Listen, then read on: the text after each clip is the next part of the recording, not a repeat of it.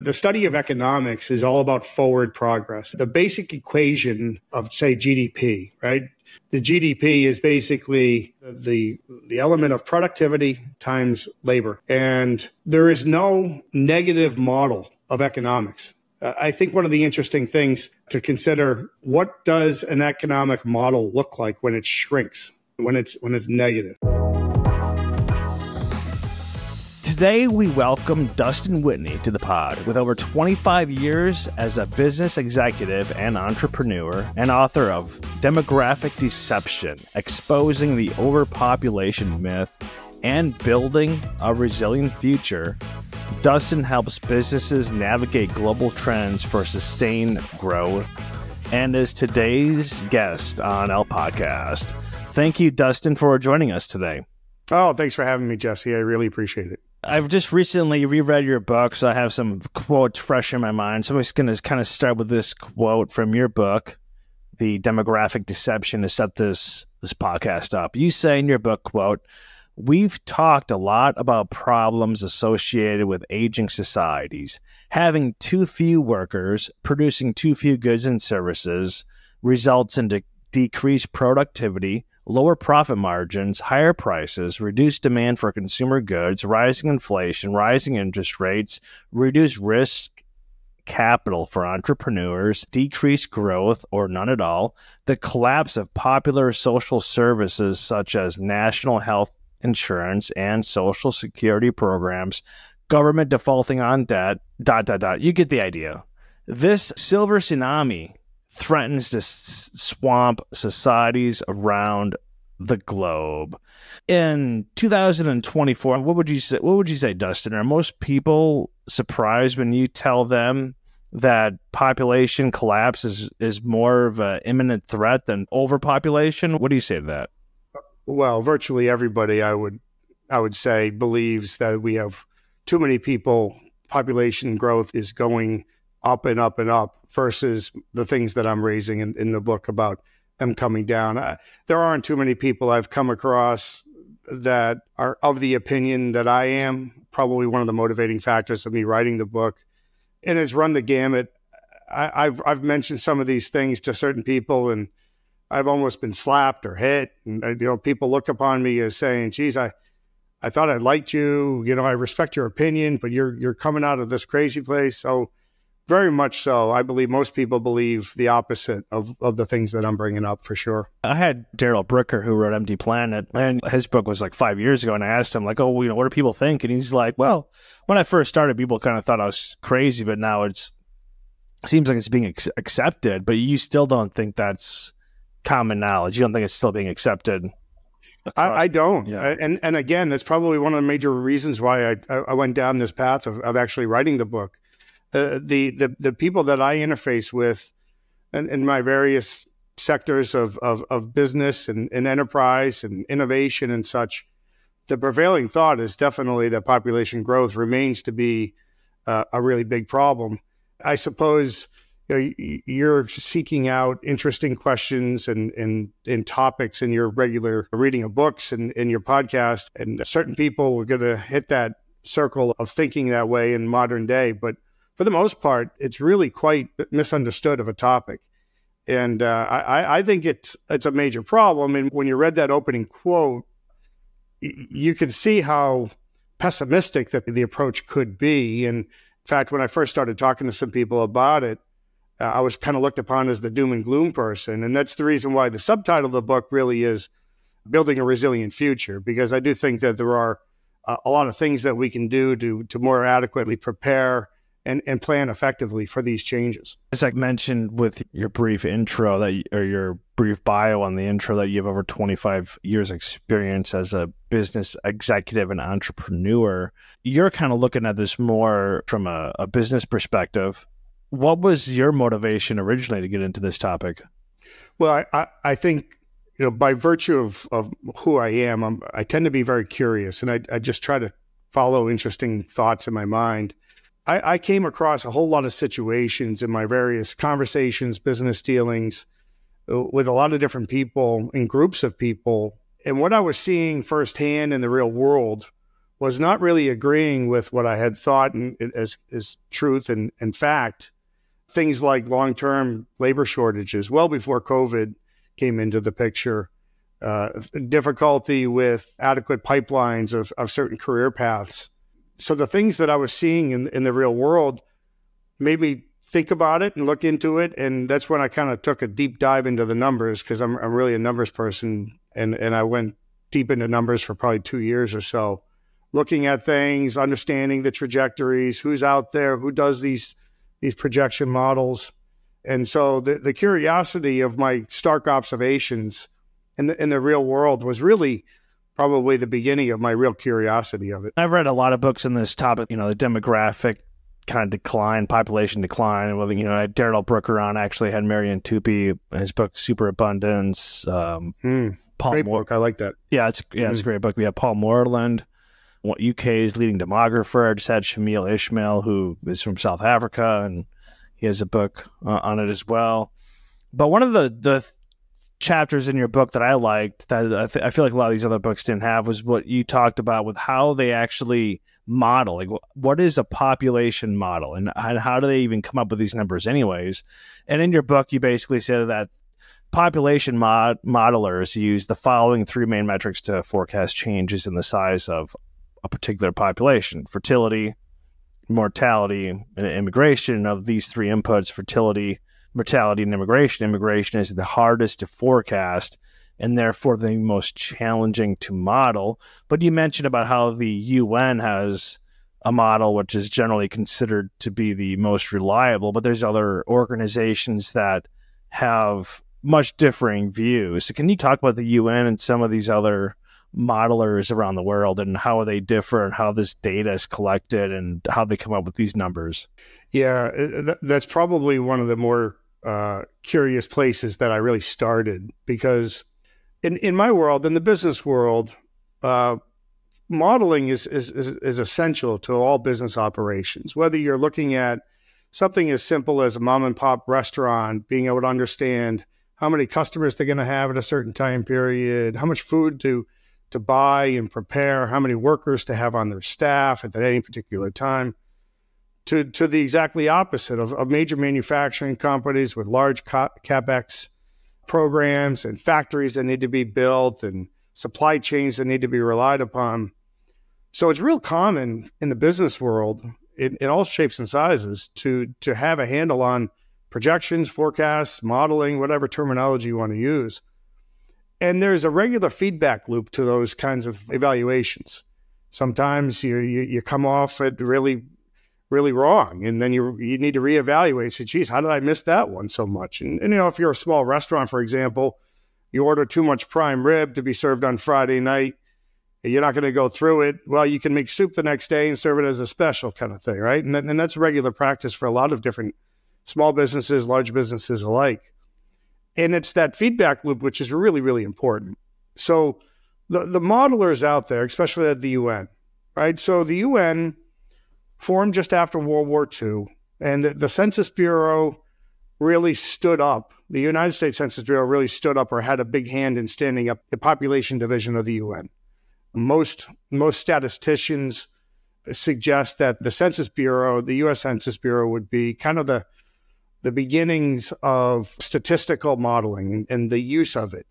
And that makes a lot of sense because, of course, our, our government, the United States government, has a core function based on the population, the, the makeup of our legislature in Washington, D.C., and the regular allocation of resources from the federal government. It comes directly from our population and, and, and where they are and where they aren't. And so the UN, the population division, really was, was stood up just after World War II. And the inputs that you described there, right? You have basically how many people are being born, how many people are dying, and how many people are moving around. It's not all that complicated to a certain degree. And if you're talking about the totality of the world, people aren't leaving the world and coming back into the world. So the immigration is kind of a, a, a, a zero sum game at the, the very top end. One of the things that has noticeably happened is there's been a dramatic change in the fertility rates uh, across the country, across the globe. And it really is a, a global topic. And certain countries are on the leading edge of it. Certain countries are on the on the tail end of it. But it is an uh, an absolute tangible trend that's been happening for some time. And the challenge with the modeling that's been heavily relied upon out there is that it's been chasing the fertility number down. The the really in in a very simple statement, the world population has been growing so radically over the last several decades, not because people have been born, but mostly because people have been not dying. We've been preventing deaths in all parts of the world, young and old. And so the modelers, uh, when you when you look at the top level, have been reasonably accurate over the last 25, 35, 40 years because almost the errors of predicting too many births have been canceled out by predicting too many deaths. And then it's, it's this key element of fertility rate, which has caught the modelers by surprise. And from a business standpoint, that's one of those important feedback loops that if you don't recognize and change, then you're going to continuously produce numbers that perhaps could be a lot more accurate. One of the parts in your book, I think it was earlier on the book, but it's like, you know, why does this information matter? And you talked about, I think maybe like the town you live in, you know, in the Boston area has, I believe it was like three schools, and they're talking about trying to build a fourth school. But then if you start looking at how many kids are being born and how many kids are five and four and three years old and two years old, and it's like every subsequent age group has less of a of you know less kids basically. So why would you build a, another school when in 10 years from now you're going to have say 30, 40, 50% less kids? And like, again, like, why would you build? You know, do you need to revamp an airport? You know, there's all these other infrastructure projects that you can look at based on the population. And as you, you, you kind of mentioned in the book, if the UN, if their numbers are wrong, then massive business decisions, government decisions are based on this data. So like this has real world implications, whether it's small town like you're mentioning with this school or larger governmental worldwide trends. Uh, absolutely, it uh, that can't be uh, stated enough. To be honest with you, it it has the implications from the most small to the largest, and so yeah, in the book I, I kind of make it uh, a connection to my town here in the south area of Boston. But that concept of proper planning and, and understanding what's in front of us is an essential, absolute essential piece of not just business and commerce, but just daily economic existence. And the numbers are wrong. And, and, and they're becoming more and more proving that to be the case.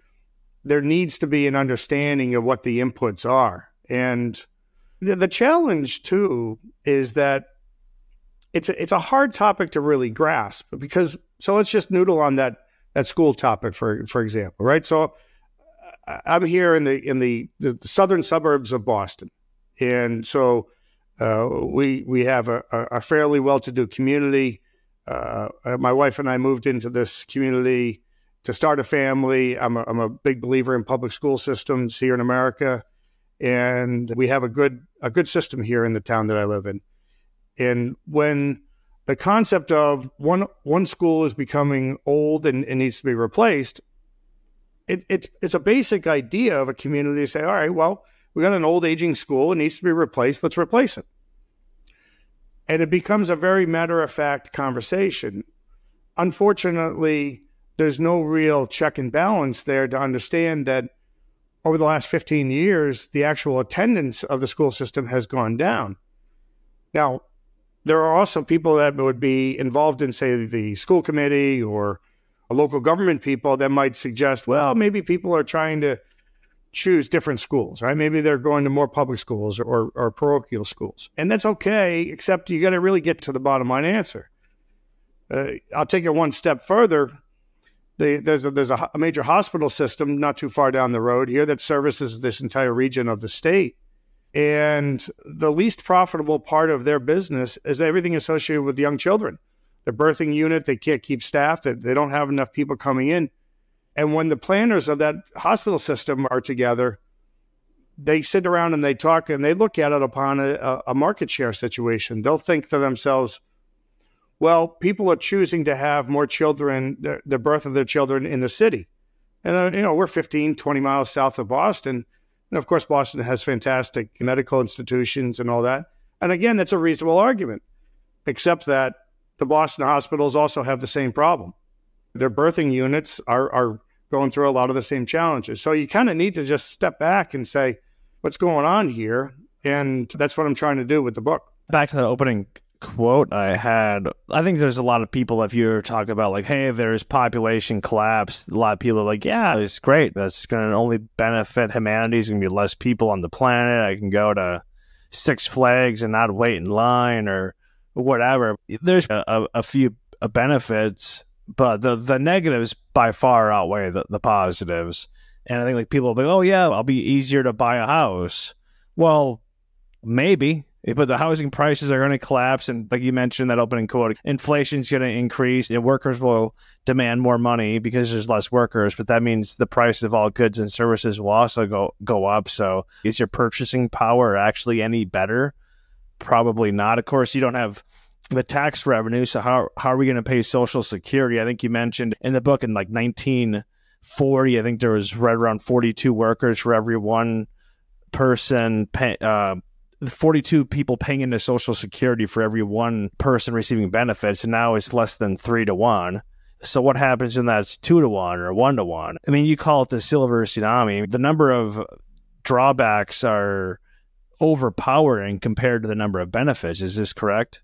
I, I think so. As you as you look at it as a whole, there are definitely some some benefits of the whole thought of of having fewer people, not just in our in our country here in America, but across the globe. And there's a chapter in the book that definitely talks about the good things that that are happening or can happen as a result of that.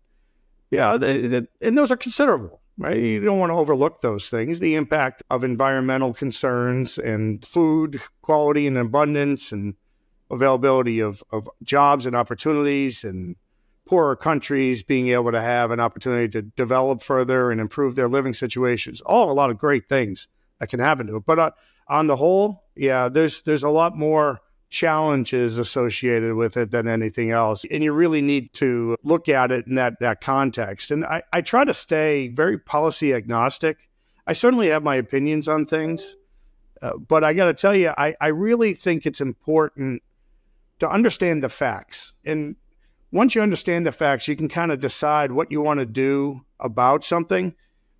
But you you really can't choose what facts to pay attention to. You have to really look at things in its total and select that. So, to answer your question, absolutely, I think there are definitely more challenges and bad things associated with a topic than good. However, if we plan a uh, uh, properly, we can we can navigate these waters and certainly overcome them. Looking at this from an investor, entrepreneur, business executive, you're researching this book. What's the information that people can take from this book and apply to their business or local government, whatever, to kind of mitigate the pending population decline? Well, first and foremost, you have to absolutely reconsider what business you're in and what business are you going to be in in the future? Because because they're different. They're absolutely different. There's two fundamental issues. One has to do with production. One has to do with consumption. If you look at it, basically, workers, people of the age of say 15 to 64, right, big group of people there. Those people produce, whether it's uh, they, they they work, they're they're actively supporting the economic system, and then people say over the age of 65 have more of a tendency to consume. Now, that doesn't mean to suggest that a 70 year old is all a consumer and not a producer. There's definitely different uh, takes on that. But on its face, generally, older people need the support of younger people. So, from a business standpoint, you've got a question of what's your customer base and what's the future of that customer and, and how does that marry up to the product or service that you're offering? And chances are there's something there that needs to be evaluated and, and probably changed quite a bit. Uh, the, the, the future of commerce in these circumstances, the winners and losers will be picked by those people that are that are adequately prepared and, and, and planned out. So the first real thing that uh, any business enterprise uh, operation needs to consider is understand exactly what's really happening around you. Take a good evaluation of what your business is, what it relies on, and then think about what it looks like moving forward with fewer young people, more old pe- older people, and how does that change the landscape of what you're involved with?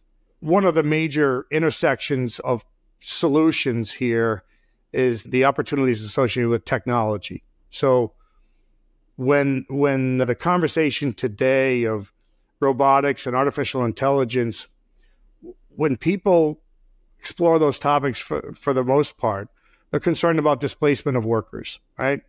Jobs being taken over by robots, by the AIs.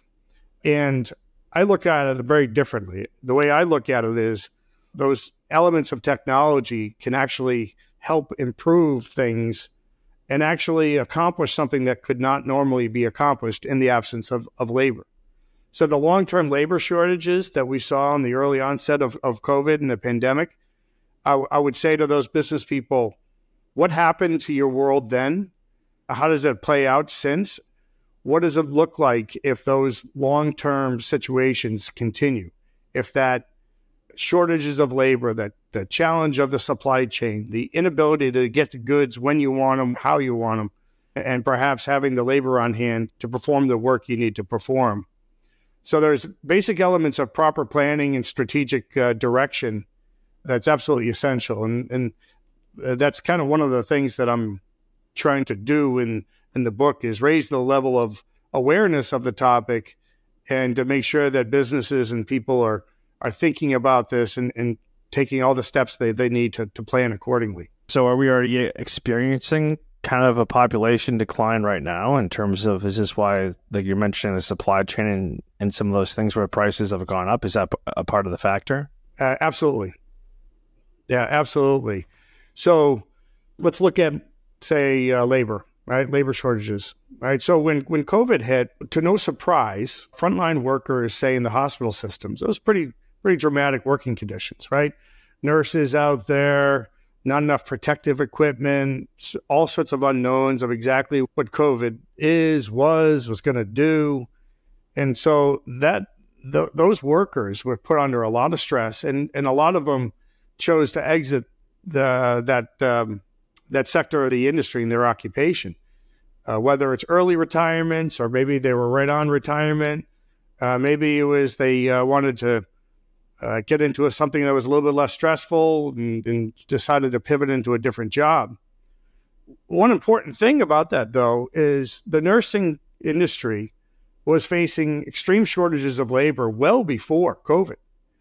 And so, those sectors of our economy, say in America, that are facing long term persistent labor shortages right now are simply those industries that were more vulnerable going into this pivot time period. So things like uh, manufacturing, nursing, like I said, school bus drivers, teachers, doctors in general. We've had a shortages of those people for a long time.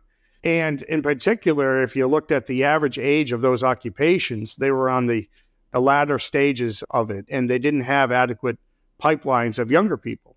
And so it, it's not a complicated situation. You know, you've got people retiring on a regular basis, and you you're not keeping up with hiring.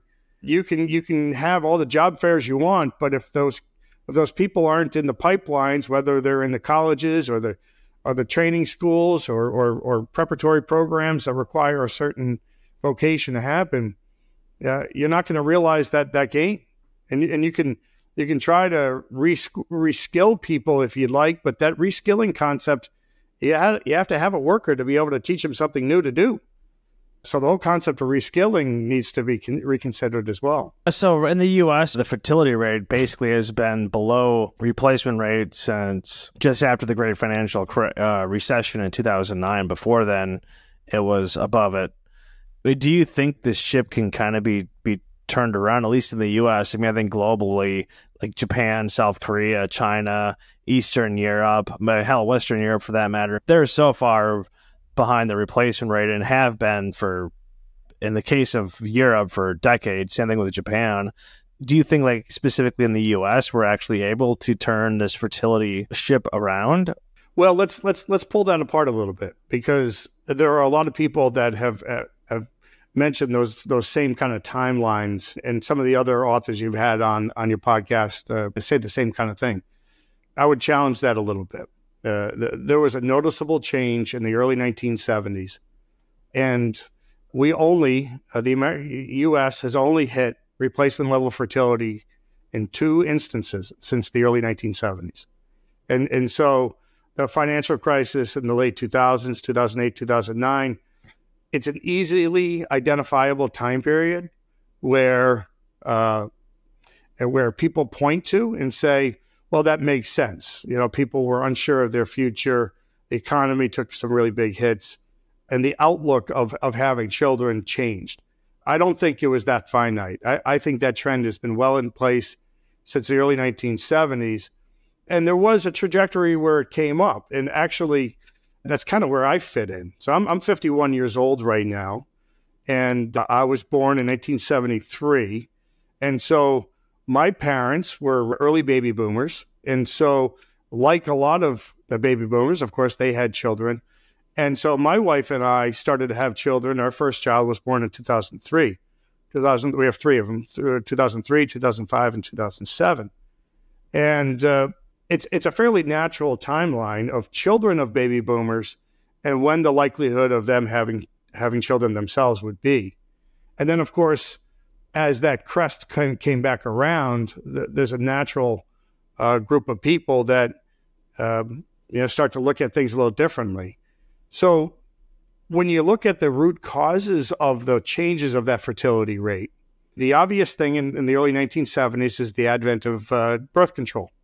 And so for the first time, you added into this equation an element of choice, which, uh, as a matter of forward progress of society, that's hard to say that's not good right? You got an element of choice in there that people are able to decide for themselves what kind of life they want to lead and when and how they want to bring children into their lives, if, if at all. The other component of the declining fertility rate has a lot to do with the education levels of people, and in particular women, right? So when when a society is made up of educated women, they have the tendency to make choices that are not consistent with having a whole lot of children and uh, like they did, uh, you know, 100 years ago. Whether it's uh, more choice of a career path or maybe they want to find the right person to settle down with. Uh, so again, there's an element there that's it's difficult to argue with. I mean, education, improving it, and having everybody in this country, in this world, for that matter, more educated. Again, hard to argue with. That's a pretty good thing to have happen it's just the outcome of that is uh, people are deciding to uh, take longer to settle down, if you will, whether it's finding the right person to to commit to, whether it's a, a traditional marriage or a similar kind of relationship, and then the concept of having children if they want to have children. It's just a fact that when you have a society made up of more older women versus more younger women, just by natural selection situation, you're going to have fewer children being born. So, can these trends be reversed?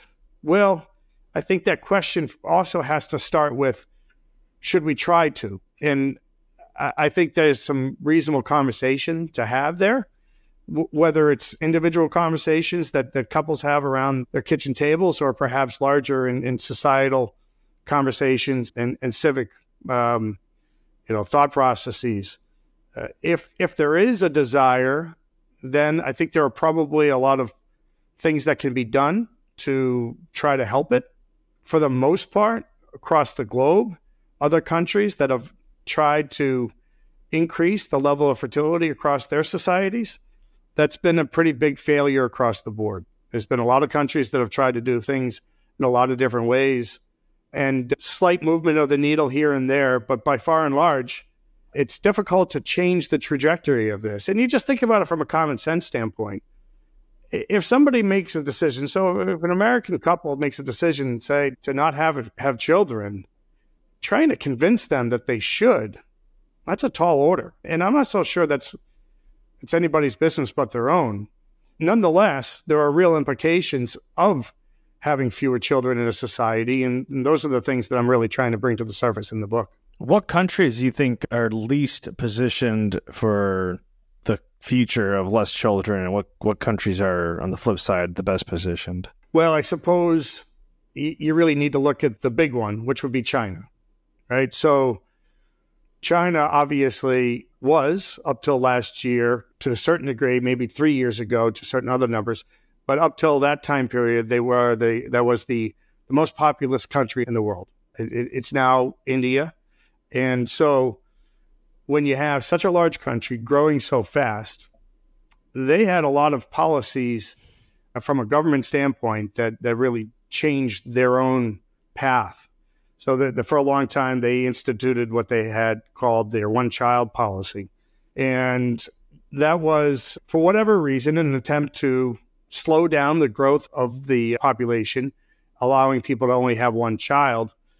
Uh, that started to take hold, and within a very short period of time, I'd have to go back into my notes to tell you exactly how long, but in a very short period of time, they went from a one child policy to a two child policy to a three child policy to a, to now having a policy of actually encouraging fertility. And in fact the government is subsidizing and outright paying for fertility treatments and in vitro treatments.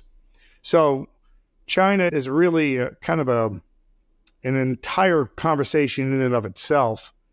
In my adult life, I have seen the rise of China from a from an economic standpoint, and I do believe in my adult life I will see the demise of China in in that same economic view.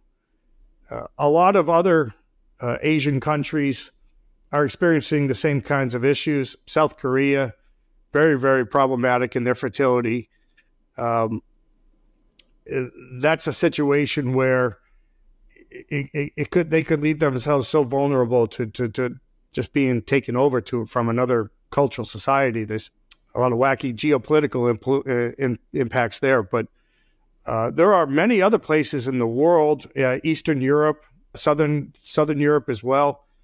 In fact, I would suggest that there's virtually no place in the world besides sub-Saharan Africa that are not facing this imminent threat of this trend.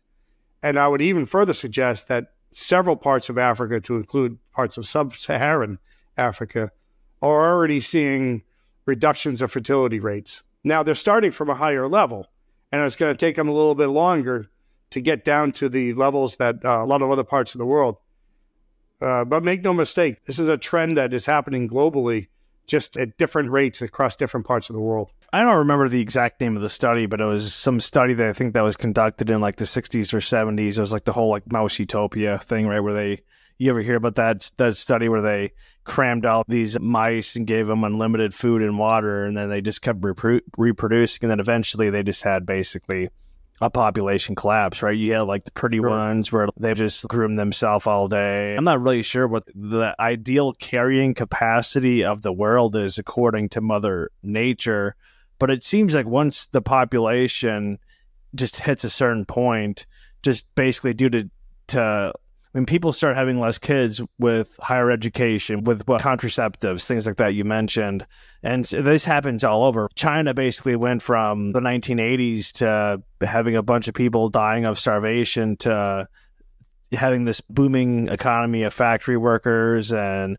booming population. Then all of a sudden now they're still I mean, in, in, my lifetime, right? I mean, basically seeing China rise and fall within one generation is really insane to see. And then people are saying, oh, like India, now that they surpassed China as the largest population in the world, like, oh, they're going to be the next global superpower.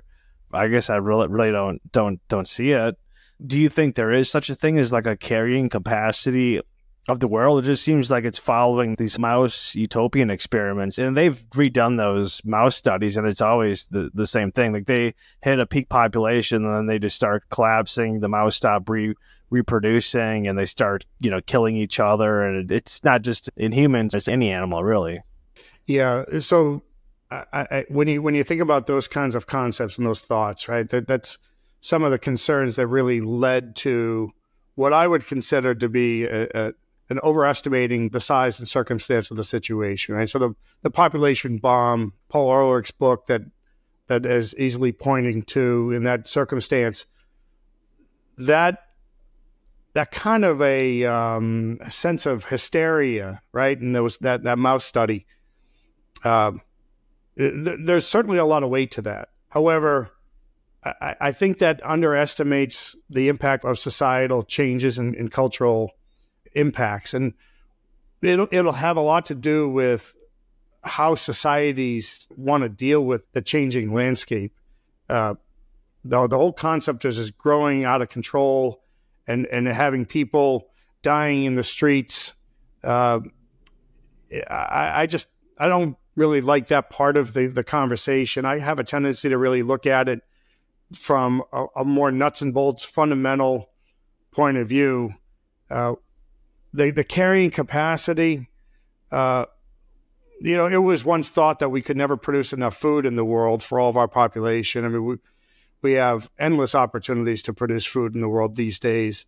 And uh, the concept of not being able to do something to provide for the for our population, I just don't subscribe to it. Really, I, I think we, uh, as uh, especially from the entrepreneurial standpoint, where there's a need, there'll be a there'll be a, a, solution that'll be created. I had Tim Carney on the podcast. Wrote a book called Family Unfriendly, and he kind of talked about safetyism, where it's just harder to have kids, like multiple kids. Back in the day, you just throw you know your four kids into the back of the station wagon and and go off to the grocery store. Now, of course, you can't do that. You got to have a special car seat. And if you leave the kids in the station wagon and you go into the store, you're going to have the cops called on you and arrested for child end- endangerment. He basically says like a lot of like it would, it would, people are just having less kids because it's just harder to have, you know, to raise them and it's more expensive. And he kind of thought that maybe in his, at least his group, that people are kind of just over the whole safetyism thing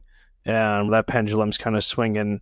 I mean, I, I, was born in 1982. That was, you know, how I grew up. It's just like, yeah, you shove four people into the back of a station wagon, and I'd be sitting in the parking lot for two hours. You know, of course, this is before a smartphone and all that stuff. I'm just sitting in there, you know, by myself at like nine years old for two hours, but no one ever thought anything of it. But now it's like you do that, and you're probably going to be thrown in jail. If we could make it easier, like that's his whole point. Like, you make it easier to have kids, people will have more kids. you know, I mean, I guess is, you know, I think that's you know, there's a very practical interpretation there, and I, I certainly wouldn't disagree with it to a large degree. I mean, uh, like I said a moment ago, I've, I've uh, my wife and I have have three kids, and uh, like you, I was definitely one of those people in the back of the station wagon too.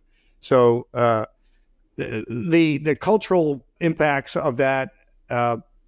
I, I, for sure we could we can do things that are more family friendly, and I certainly have a couple chapters in the book that I talk about those different things, and different societies have tried some of those things. I, I think for me, it's it's important to understand what's the motivation, what are you trying to accomplish, because if you're going to try to entice people to have more children, that's not all that easy to do. If you want to have a society that is more welcoming and friendly to having children and work towards that goal, I certainly don't see any challenges with it. I, think at a certain point, the economics have to re- really evaluated because there's been a lot of societies across the globe that have tried similar similar kinds of policies to, and and it really doesn't it really doesn't move the needle in the big picture. And and uh, again, I'm I'm not necessarily suggesting we should or shouldn't uh, I'm just trying to make observations on what the circumstance really is, and in, the in the scenario that we're in, and and and really from a practical standpoint, uh, how do we best uh, get through it, cope with the situation, and and, and hopefully succeed on the other side. Uh, the, the, those the, you know the concepts of larger societal conversations. Uh, I'm just really a business guy who making some observations on some major trends people need to make up their own decisions, and, and collectively as a society, we need to make those common thought processes and the societal norms based on how we want to run our society and culture in general. In your book, you're talking about Dallas, and you're saying about how all these people are moving to Dallas. Like they got a lot of jobs, they're having these larger families, so then they're building these larger homes, big yards. And then you're saying basically, like in 20 years, when these families are all grown up and moved out of these houses, like who's going to buy these houses? The older generation, they don't want big houses. They don't want houses with massive yards. You, you think you're going to have some 80 year old walking around with a cane, you know, trying to cut the grass or use the leaf blower or whatever, right? So, I mean, I, th- I thought that was interesting, right? Like, what do you see the fee- like real estate, right? Everyone thinks like, oh, like oh, less people, great. The housing prices are, are down. Well, what about the vast majority of people where their biggest asset and the vast majority of their net worth is wrapped up in the equity of their house? They're they'd be decimated if housing. Yeah, there's you know there, there's a lot there. There's a lot there. I'll, I'll start with the last part first. When you look at the concept of the long-term asset value of a, of a piece of property, of a, of a piece of real estate, of a home, the American dream of having the house with the white picket fence and you pay off your mortgage and you own it outright, and at some point you retire and you live off of your nest egg. Uh, the long term asset uh, appreciation model needs to be reevaluated. And that's kind of one of those businesses in those sectors that uh, if that's part of your world, you need to think about that. And, and so if, if you're talking about home ownership, what is the property value, regardless of the location or the the, uh, the sought after nature of certain neighborhoods or whatever?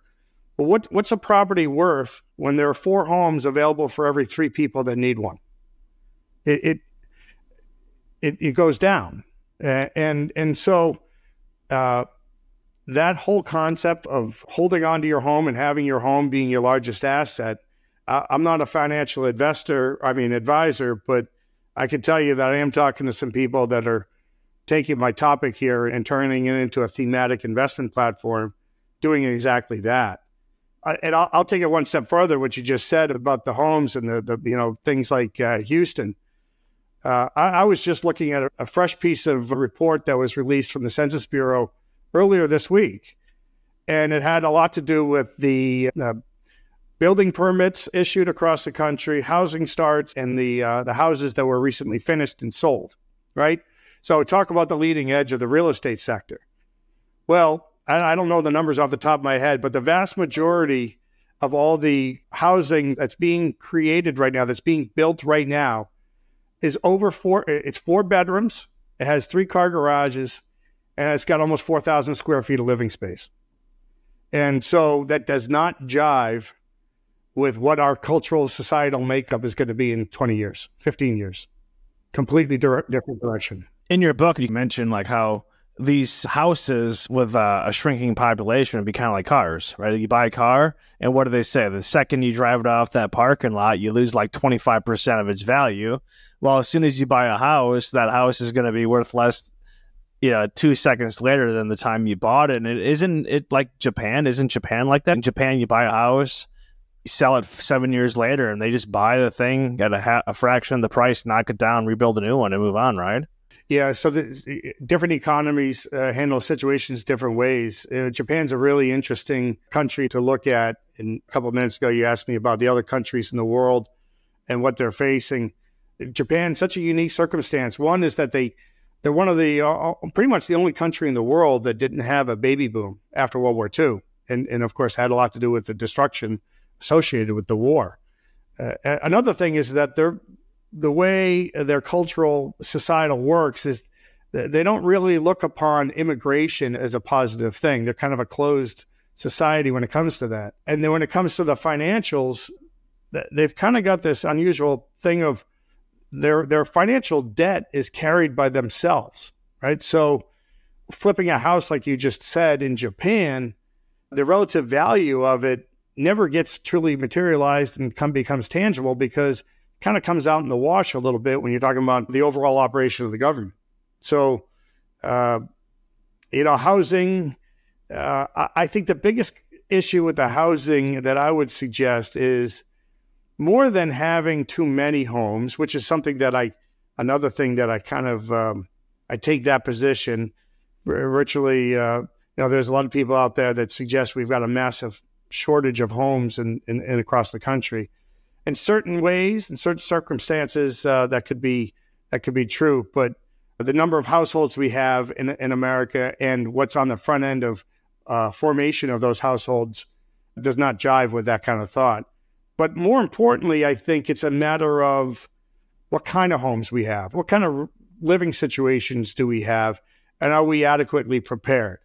And and so uh, things like convenience of living and what does it take to make a home something uh, someplace that is comfortable for an older person to live, right? So let's start with basic things like well, probably shouldn't have too many sets of stairs, right? Obviously, your point earlier of probably doesn't need to have five acres of grass that needs to be manicured and cut. Uh, but we more so the planning associated with where the, that that property is. You can't just take those houses in, in, in one of those areas, just continue to, to, to focus on Houston, for example. If you just simply made those houses single floor living and uh, in wide hallways and, and less grass to manicure, they still wouldn't fit with our societal requirements because they're spread apart quite a bit. And there's no easy access to, say, for example, uh, healthcare or your basic needs of prescription drugs or groceries. You've got to be planned in that regard and be able to have that those requirements and those needs accessible to those people. And that's what I think we we really need to focus on is are we adequately prepared for what's happening or what, what's going to be our, our cultural situation? And and my really answer is is no, and we should be doing a lot more about it. Well, the last several years, the fastest growing community in the U.S. has been the villages of Florida, the 55 plus community. And I mean, these are all things that have been thought out and planned out for decades. You think we'll see more 55 plus communities around uh, North America and globally? Well, I think the challenge there is that 55 plus doesn't doesn't get it done. That area has grown quite a bit, mostly be, and, and it's tracked pretty much identical to the uh, to the, the uh, significance and the progression of the baby boomer generation, and so uh, there is no baby boomer group that's 40 and about to be 55 in 15 years. That window of opportunity has already passed. Uh, now, that doesn't doesn't mean to suggest that a place like the Villages can't be wildly successful, because obviously it is. But if you were to look upon that and choose that as a business model and go try to build another 50 of them, it wouldn't play out because the people just simply are not there. Uh, there, there will be likely, uh, uh, uh, when you look at the way neighborhoods and, and regions are here in America, it'll, it'll start to take shape a lot like uh, areas of Europe, right? Villages have grown smaller and smaller. And that's, that's already happening here in America. I suppose that's something that most people don't recognize is already actually happening, but it really is. Parts of uh, Michigan and Illinois and Wisconsin and uh, upstate New York, whole lot of areas in Pennsylvania, they're, they're already dealing with the realities of a declining population. And they're looking at it as as kind of planning, and that's just kind of what happens. And the narrative in the in the populist media would suggest, well, they're going from blue states to red states, and the older older retirees are going to less areas of taxation, and that certainly is the case. But don't look past the basic understanding that there are just simply fewer people across the entire country. There just simply are fewer, and if you look at the numbers, you'll find that to be true. So Del Webb was a developer in the 1950s. He broke ground in Sun City, Arizona with the first 55 plus community. And now there's a bunch of other, like, you know, either Sun City West or other Del Webb kind of developments, 55 plus communities. There's one in like Hilton Head, South Carolina. I think there's one outside Vegas. There's a bunch. But if you were the modern day Del Webb, you know, the 2024 Del Webb, what kind of developments are you creating then? Well, I, will take the, uh, I'll say first and foremost, the word creating needs to be reconsidered because we probably don't need to create too much more.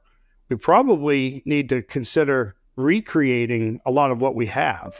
And, and the economics of that uh, certainly changes and, and, varies across different municipalities and, and, and regions of the country. We've got a lot of structures, right? We've got a lot of buildings, office buildings, homes, schools, universities that uh, we probably should look to repurposing. And so the modern business developer looking to conquer the next space probably be found in what's the secret sauce there? How do you how do you take the various buildings we have across the country, malls, apartment complexes, large tract homes, and how do we reevaluate them and, and repurpose them into functioning uh, meeting places and societal gathering spots and having the right places for the goods and services needed for the local community. Uh, that's probably what what I would say is uh, uh, is probably the next feature in the developer. And I would certainly say uh, if anybody wants to go into commercial real estate these days, uh, I'm not a commercial real estate developer, but that's something that's a sector I wouldn't suggest going into. And when Darrell Bricker was on, he was talking about commercial real estate, and it's basically like you're getting decimated, particularly because of this remote work. If you got a thousand employees and say you have, I don't know, you, hey, each one come in one day a week. I mean, you could have a fraction of the space. And you see San Francisco, I mean, buildings are selling for a fraction of the price before you know pandemic and as the telecommunications telemedicine just telework as that technology improves even further i mean i i imagine in i don't know less than 10 years from now we're going to have holograms i mean you're going to be sitting at a meeting with all your coworkers moving you know boxes and shit around like in in real time right in the next decade i mean why would you you could be in Indonesia or China or Japan working in the US or vice versa. The commercial real estate, I think, is decimated, not just now, but going forward. Yeah. And, and I suppose that's, that's a fairly obvious thing to look at right now, right? Obviously, 15, 20 years ago, uh, perhaps uh, it w- wasn't so obvious to look at as a trend.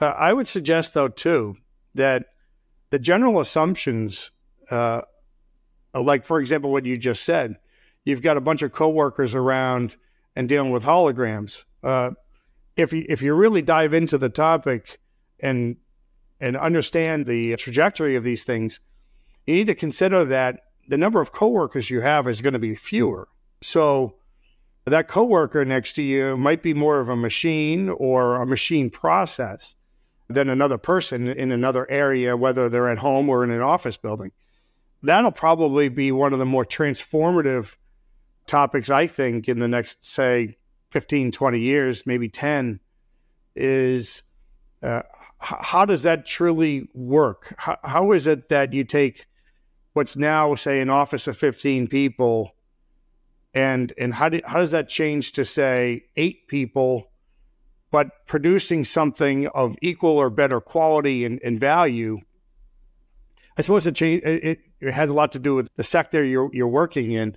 Uh, but automation is is absolutely part of the equation, and we'd probably be pretty well served to think about what our society looks like when we're sitting next to some robots or some machines rather than coworkers. Yeah, I, I watched this YouTube channel. It's one of the like the partners or one of the people that has followed the rich dad poor dad guy, but he's like this billionaire and investor, and he basically says converting commercial real estate to residential is really hard because let's just say hypothetically you have a, a warehouse or an office and you have one centralized bathroom. Well, then you gotta replumb the whole place, which is going to cost millions of dollars, and then with all the regulations. First off, you just got to re- you have to rezone it from commercial to residential. If you have a bedroom, you have to have some type of window. But if it's like this really, it's like a warehouse where it's just really this expansive space. How are you even going to get bed? You know, so then you have to make them like really skinny and narrow. And like I said, just with the plumbing, running the electrical, there's all sorts of different requirements. Even if you get the building for free, you end up having these spaces that are uber expensive there's just so many technicalities with it. It seems like a lot of these buildings would be really hard, at least with the current regulations and and now with the rising interest rates, it seems like to be pretty hard to convert. Oh yeah, absolutely. There's there's a whole lot of challenges there, right? And they're probably not just a one for one swap, right? You don't just take an office building completely convert it into to condominiums or apartments or such. And and those complexities are certainly there. And so those are solutions for people to come up with products and services to, to help marry up with that need. And, and perhaps some of them just get uh, knocked down and, and, and redone with something else. Uh, Another thing about all this topic in general is the the second and third and fourth derivative issues associated with it. So what we're talking about here, right, is the collapse of commercial real estate. Well, how about the taxes of that commercial real estate and the importance of those taxes to the locale and the functional aspects of that government? If that tax revenue goes down even ever so slightly, major implications are, are felt on the budgetary side. And so now all of a sudden you've got a, a municipality that has to look at squaring away the books. And, and you're going to take a good hard look at money in, money out. And, and that alone is going to be a pretty significant feat to, to try to accomplish. And even more so of, of you got to be prepared for that. You, your, your modeling has to be has to be at least not erroneously crazy wrong. You know what I mean? it's very hard to be accurate, but it's not hard to be ridiculously not wrong, right? When you're talking about that tax base, let's say you have an office with a thousand people going in Monday through Friday. Well, maybe they're hitting the Starbucks or the coffee shop in the morning before work, then they hit some restaurants for lunch, and maybe they hit a couple bars of the coworkers on the way out. Every single one of those is decimated. You're not just losing the tax base from the office building, you're losing the tax base from the coffee shop, the bars, the restaurants. I don't know, maybe the dry cleaning, maybe the tailoring service, maybe the, you know, you could name, uh, I don't know, the dozens of auxiliary businesses based on this one office building, right? My gosh, I mean, think about that, right? Just think in your mind, you know, one one of the cities or major areas that are easily reminded or you know rememberable to you, and you think about. You know, so for me, obviously, I can think about right here in Boston. Uh, everything you just described is is spot on, and it's easy to see where problems happen. Right? There's there's a complete bottoming out that that goes on. So now, what are we going to do about it? You know, what kind of what kind of things can we look at what, what kind of issues can we bring up to, to mitigate the impacts of these things. And it starts first and foremost with really understanding what we've got and, and, and the reality of the circumstance. And you got to try to prevent some sort of massive disaster. That's, that's first and foremost what you got to do. And then when you prevent a massive disaster, you, you try to prevent a, a few smaller problems. And then once you start getting to the, the problem solving area, then you're going to think to yourself, all right, wh- what are we going to do now? What kind of what kind of business are we in now? What kind of business should we be in in the future? And and that includes municipalities, right? You can't just you can't just have a street sweeper going down those streets if there's no garbage on the streets, right? Yeah, and the street sweeper, I mean, that's that's just one municipality person, right? How many police officers do you need if there's and and that's the hard part is like maybe we need to shrink this government down, but then the the politicians, the people in the town council and whatnot probably don't want to. The chief of police doesn't. The sergeant, you know, like there's just all these conflict of interest. I think it's right. you get into self preser self preservation mode. I mean, it's the whole. I mean, was it Upton Sinclair who basically said like if some person's salary depends on it, and you need them not to understand, they won't understand. I forget the exact expression, but it's you know it's something to like. But it's totally true. I mean, I I see it. Yeah, I've seen it yeah. so many jobs I worked in. I mean, and, I, and I've worked in municipalities. I mean, it's it's tough because it, it's certain it's almost like trying to catch a falling knife, right? It's it's it's a tricky thing for sure, but it but it's something that we have to be prepared for, and it starts with having a basic handle of the facts and figures. In the book, it seemed like one of your solutions was like we're going to need to get people to work longer, and you mentioned in France how they pushed up the age of re- retirement. They had they had protests in the street, right? But did, I think they they actually ended up following through and making that age two years longer. Isn't that correct? I thought that they actually did they they finalize that well, right? I think the, the the, the the real jury's probably still out on that one. That, um, okay. I, I, haven't followed the latest, but that was Macron's major uh, major initiative he wanted to accomplish. I think he couldn't get it through a certain way, and I think he he, he penned it in due to his powers. And I'm pretty sure politically right now he might be on the outs, might be because of one of those major issues like that. Uh, you know, working working later, uh, well, it, it, I guess it depends on what kind of society we, we really want to live in. You know, my, my parents have have worked later. It's not something that they have had a particular problem with. You know, they like working, and, and if people want to work, we should we should have uh, atmospheres in place that's that's it's comfortable for them to work in. And obviously, you're not going to be, uh, you know, you're not going to be a roofer on the top of a house in a summer's day when you're 76 years old, banging nails. But surely we can find ways to utilize the skills and experience of our elders however they, they would like. And, and we should we should take that into consideration in the, the, the society structure we have. And businesses in particular should make it a point to do that, not because it's a it's a it's a right thing to do, and and you can have a conversation about that for sure. But I'm talking about it from a, a basic element of business preservation standpoint. Uh, if, if, you can't make an atmosphere, a working environment that's that somebody who is older wants to work in, you might have to face the fact that you might not have a worker to be there to begin with. And uh, that's really important. In your book, you basically mention how Social Security was started in 1935 under FDR, part of the New Deal, and the average age of a of a person, I think it was a man, in 1935 was 58, and so Social Security was 65. So very very few people were even eligible for Social Security you know, at that point anyways. And then, as you mentioned in the book in 1940, 42 workers were paying into every one worker that was pulling out those benefits. But if, if we were to extrapolate that in, in 2024, the age of 65, that would essentially be the equivalent of like upper 80s, right? I mean, if it actually pegged to gains in, in life expectancy.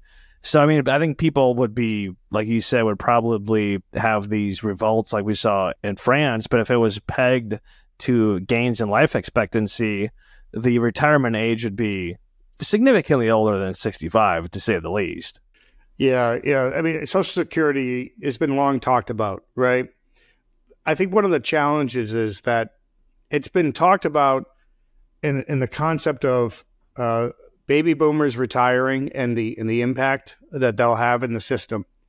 And although that's not wrong and, and not and not it's not incorrect to look at it that way, but I would suggest that a, a bigger issue is the the thing that you're trying to identify there is that the people paying in is is fewer. And in fact, the the, the front of the book is is got this imagery associated with the population pyramid, right? So most people look at as as, as a pyramid of of uh, uh, uh, of a group of people, younger people at the bottom, older people at the top, right? So collectively, we usually have fewer older people and, and a whole lot of younger people. And and in fact, that's just the way everything associated with societal development has always been. And and other than you know some massive areas of plague across the the world the, the, world has never seen uh, this kind of implication. And so when you're thinking about Social Security, you got to look at it from an inverted pyramid, right? And so now you got a lot more people up at the top and not a lot of people down below. So it's only math, right? So what, what are you going to do there, right? You either pay less for the people that are getting it, the people that are paying into it pay a whole lot more, or or modify the rules of it. And and apparently, uh, you know, politically these days, that's a topic that nobody seems to want to touch. And and I, you get some lip service here and there, but it's unfortunate because it, it's really a great demonstration of the problem we have here. We, uh, my book is all about trying to bring to the surface the fact that we've got not just a lot of older people in our society, but more importantly, an absence, a big gaping hole of younger people. And the societal safety nets like Social Security, eh, you have to do something about it. And, you know, the national debt, the borrowing levels of, of the country also come into play. And again, it, it's not necessarily about uh, what we should do politically there. Uh, what I think is, is most important is just to have a, a, a real observation of exactly what the facts and figures are and then I think people can have reasonable conversation. And and and those reasonable conversations, and sometimes they might not be so reasonable, but they need to happen. People need to have uh, dialogue about what to do with these circumstances. And my major concern is that businesses in particular will be caught flat footed and that's one of the motivating factors I had when I wrote the book. Today's guest is Dustin Whitney, author of the book Demographic Deception Exposing the Overpopulation Myth and Building a Resilient Future. Dustin, thanks for thank you for joining us today. I just have two final questions. Just can you let people know where they can find your book, get a hold of you, that kind of information that you want to provide, and then after that, leave us with a final thought, whether that's related to your book, to the demographics, or just anything that you are currently working on or on your mind. Yeah, well, thank you for that. The book is certainly available on Amazon. Uh, any other place that people want to buy their books, but Amazon would be the place I would ask people to buy the book. DustinWhitney.com is my website. There's some additional information there on some of the projects I'm involved with and what I'm ultimately trying to accomplish. Uh, I think when it comes to wrapping up some thoughts on, on the book and the topic in general, uh, there's a, there's an element of what I'm trying to do, and we didn't we didn't get into it too much uh, here, but there's an element of what I'm trying to accomplish of trying to make the world a better place and do things, and the whole concept of uh, leaving something better than you first came across it. Uh, uh, like we like I said earlier in the conversation here, I've got three children and it's really my children that are going to have to deal with the major societal impacts of the implications of this topic. Uh, and, and so, selfishly, at the same time, I'm probably going to be one of those 80 year olds that uh, probably doesn't have enough nursing care around them to adequately uh, help. I'm looking for ways that we can help bring these things to the surface and drive solutions. From a, a business standpoint, too, what I'm doing is that I'm in the process of evaluating all the different major implications and sectors of, of the most Im impacted areas and aligning myself with strategic partners for long-term planning and, and, navigating these waters. So uh, if you if you see this podcast, you, you hear about the topic, please reach out. Solutions are available. There are things that we can do to help prepare and navigate around these these topics uh, you know, one other analogy I might kind of put into into place there is towards the end of the book, I draw this connection to a plane landing. Most people have been on airplanes, and most people, when they when they land on an airplane, it's kind of one of two circumstances, at least here in America for the most part. There's the circumstance where you kind of you're, you're approaching ground, and you're and the and the the, the pilot puts the the rear wheels down first, and then just kind of floats the, the front end of the uh, of the airplane down, and you just kind of coast to the uh, to the gate, if you will. And then there's the the, the the landing that is much more abrupt. It's kind of like you're all of a sudden you're in the air, and then boom, you're on the ground, and you hit the brakes hard. I, I, think most people uh, have had those kinds of circumstances, and that's kind of um, uh, the the reason for that uh, is because most pilots are either are trained by the military, and uh, Air Force pilots are are are taught to land a plane like that, nice and soft and gingerly, mostly because they've got plenty of runway, long areas to uh, to uh, to navigate around. Navy pilots are instructed and, and, and taught to land a plane very quick. And and you know, for example, you think about trying to land a, a fighter jet on top of a, an aircraft carrier. It's you don't have a lot of wiggle room, right? So it's like boom, get it down there. Uh, the analogy I'm trying to make here is that if we were facing a, a decline of our population that was kind of just slowly happening, and and we had a chance to adjust uh, accordingly, and everything kind of came out in the wash over say 50 or 60 years or something like that, that'd be a different circumstance than what we're facing. What we're facing right now is a very abrupt transition. It's a very dramatic shift, and it's something that is going to shake shake out um, you know, my my real timeline here is between the the years of 2020 to 2030 or 2035, and so we're we're probably one third of the way through that right now. 2030 is a time period that I'm looking at as the beginning of that massive shift being impacted and felt, and then 2035, that that five year stretch, depending on industries and sectors, of, of when they might go through some mass, massive transformation. And then I, I'll, I look out on the timeline of, of 2050 and further. It, it's very challenging to look out that far. It's it's not really pragmatic automation, robotics, uh, technology in general, the future of the world. So many things that are very difficult to pr project into the future. But uh, when you when you think about things in timelines like that, you know, 2030, 2035, it's not too far down the road. And and so these impacts are are being felt now. So take a look around you, understand where you are, what kind of imp implications this has to you, whether you're a worker, whether you're a business owner, a, a, societal person, somebody who's generally concerned about your neighborhood, your, your municipality.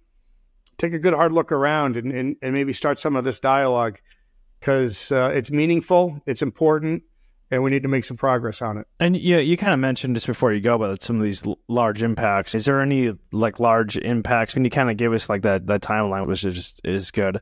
But is there any large impacts that we didn't we, we didn't discuss? That you referenced Harari in your book. He's most famous as like *Sapiens*, but he has another book on basically talking about this post COVID world. He basically says the average person is useless. I think he calls them the useless class, and 85% of people are basically going to be without jobs and you know who knows what. I mean, I think you know he's part of the World Economic Forum, and I think some of his, you know, I generally don't like to talk about him too much because I think he's pretty far out there. But are there some big impacts that we didn't discuss that you want to bring up? Well, uh, you know, we, we spent a lot of time talking about societal implications. You know, what what daily life looks like, feels like, right? The the challenges in general.